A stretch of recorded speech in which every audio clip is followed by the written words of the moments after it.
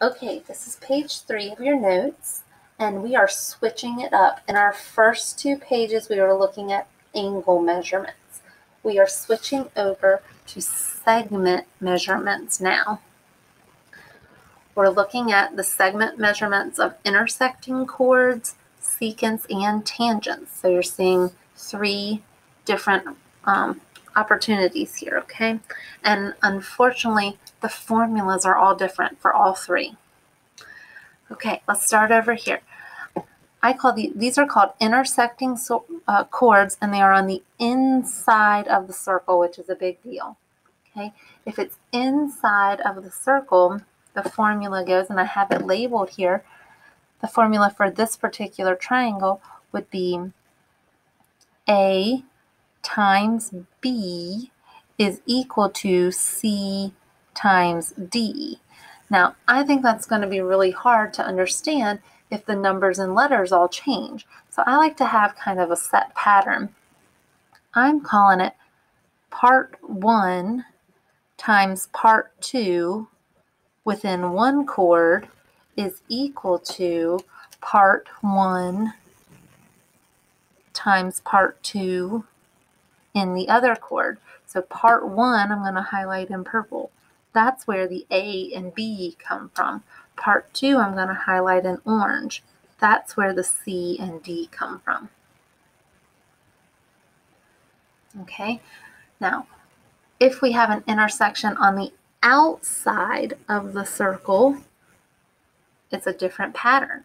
Okay, I like to have a pattern for it, and mine goes like this.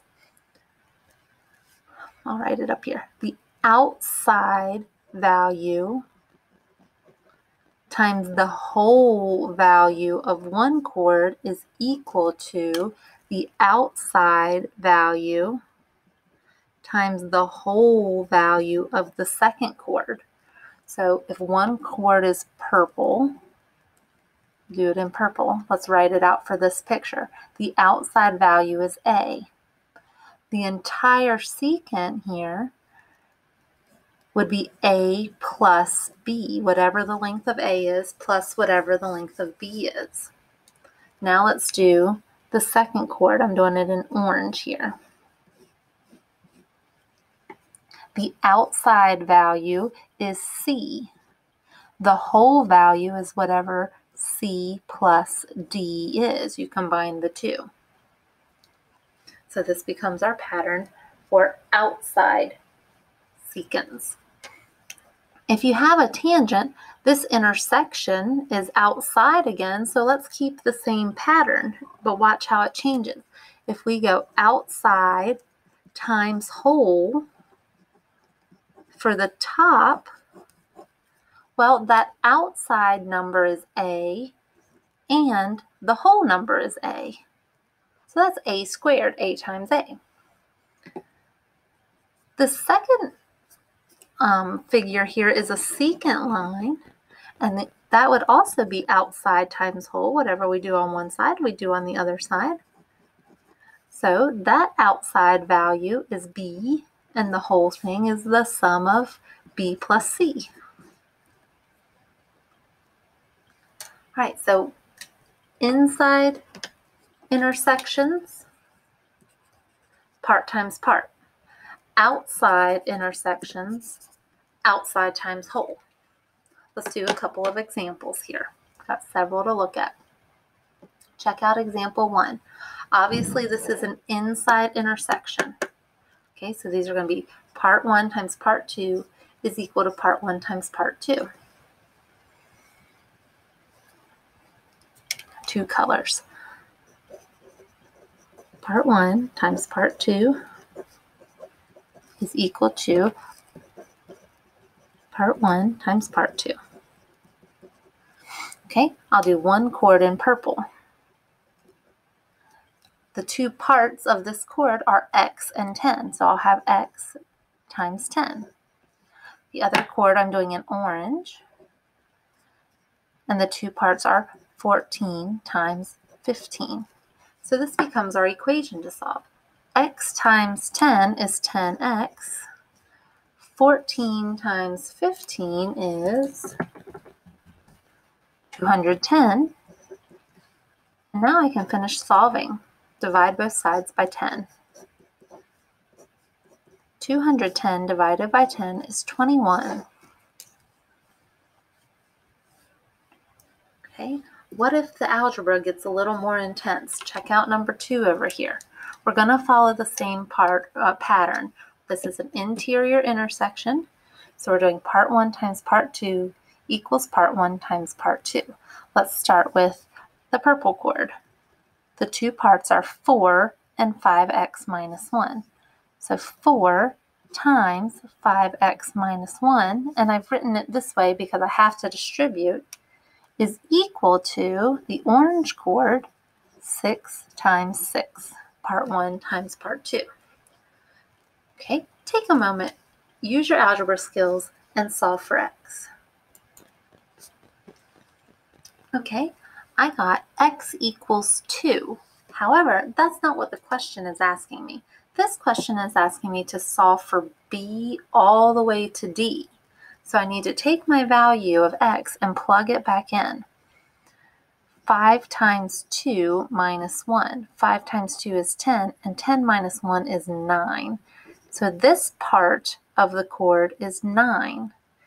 Well, from B all the way to D is 9 and 4. So 9 plus 4 is 13. Just make sure we're reading the question. Okay, the next two problems, check out 5 and 6 here. They're both two secants that intersect on the outside of the circle. So we're going to use this pattern of outside times whole is equal to outside times whole. Let's take a look.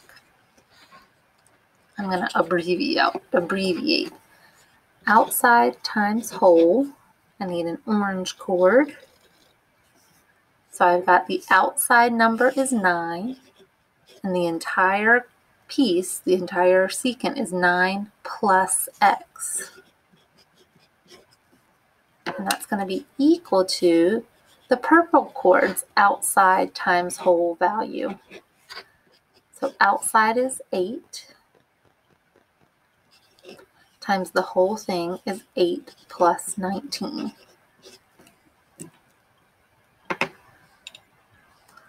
All right, I'll help you out on this algebra a little bit.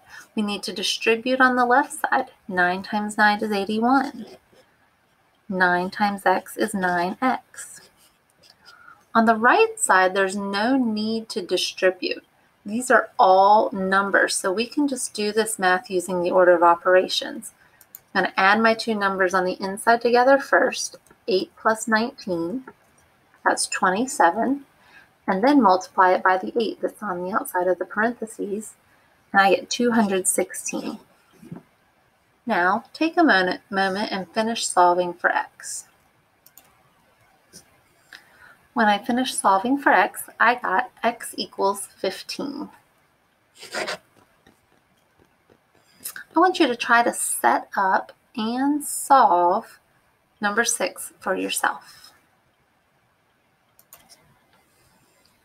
If you'd like to check my setup, I've stopped here so that you can compare. I'm using the outside times whole pattern. My orange chord, the outside value is 13. The entire length is whatever 13 plus x is. On my purple chord, the outside value is 10 and the entire length is whatever 10 plus 42 is. Okay, finish out this tough algebra problem. You got it. When I finished the algebra to this problem, I got that x is equal to 27. However, I'm not finished. The problem states find NL. NL is the entire length of my orange chord. So if I got 27 for NM and 13 for ML, then NL is asking me to add those together. 27 plus 13 is 40. We have two more examples on this page, and these two final examples are a secant and tangent combo. So it's type 3 up here in our notes. we're still going to use this outside times whole pattern. Let's do an example here. I've got outside times whole of one chord equals outside times whole of another chord. Okay, I've highlighted this X secant um, orange. It is the outside value and the whole value. On the purple secant, the outside value is 27, the whole length is 27 plus 21. Well, whenever you multiply something by itself, that's called squaring. x times x is x squared. Here on the right, let me do some arithmetic. 27 plus 21 is 48, and 48 times 27 is 1,296. In order to get x alone here, I need to use the inverse of a square. I need to use a square root. A square root and a square cancel each other out. And the square root of 1,296 is 36.